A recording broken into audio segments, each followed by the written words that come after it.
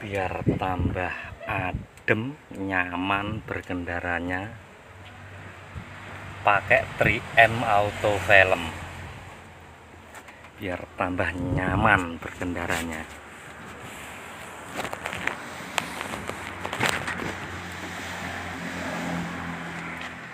delapan puluh persen.